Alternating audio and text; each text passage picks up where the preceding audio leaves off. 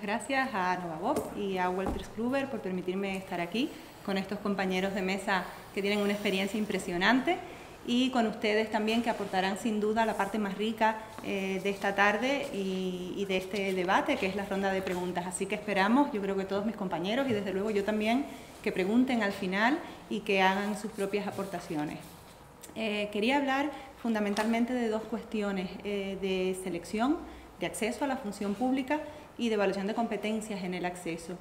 yo creo que en este punto, que ya mi compañero Ignacio señalaba como crítico, eh, es muy, muy importante que pongamos más ciencia o que prestemos más atención a la ciencia en la selección de personas.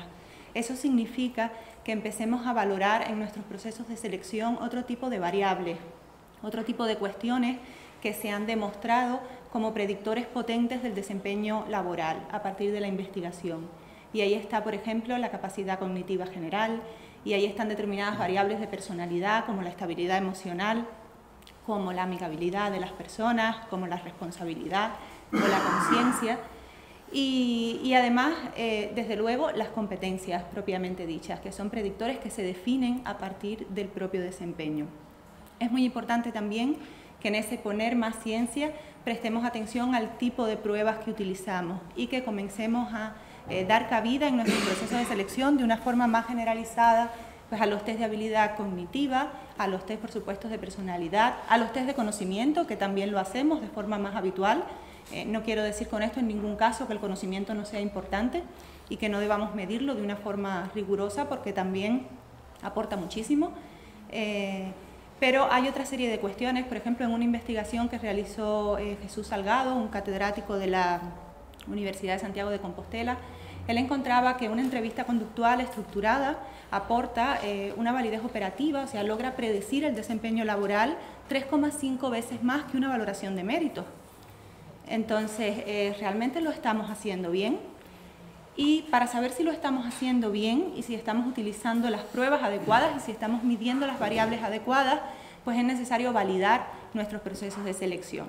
Y para validar nuestros procesos de selección es necesario saber si las personas que finalmente hemos elegido y que han sido nombrados como funcionarios o incorporados como empleados públicos eh, laborales hacen bien su trabajo, hacen o desempeñan excelentemente su trabajo. Y para saber eso, no nos queda otra que entrar en evaluación del desempeño. La forma de contrastar si lo hemos hecho bien en selección es saber si las personas seleccionadas están haciendo bien su trabajo.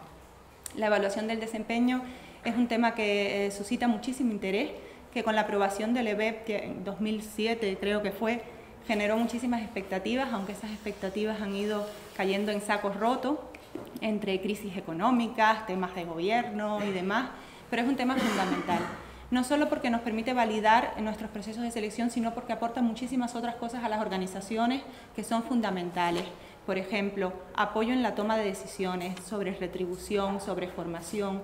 Es una cuestión importantísima a la hora de detectar necesidades formativas, a la hora de detectar potenciales en nuestras plantillas de, personal público, a la hora de eh, retribuir con justicia.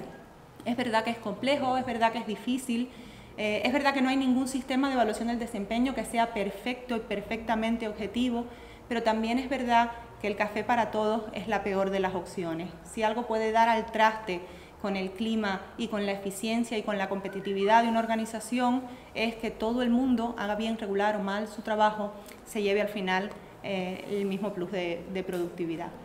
Con lo cual yo creo que es una tarea pendiente en muchas organizaciones, otras ya han empezado a dar pasos eh, en ese sentido pero eh, es un tema ineludible si queremos al fin y al cabo unas entidades públicas eficientes, eficaces y unos servidores públicos competitivos que al fin y al cabo pues todo lo necesitamos.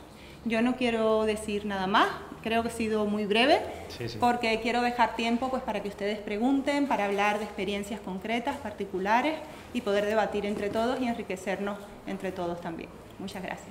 Muy bien.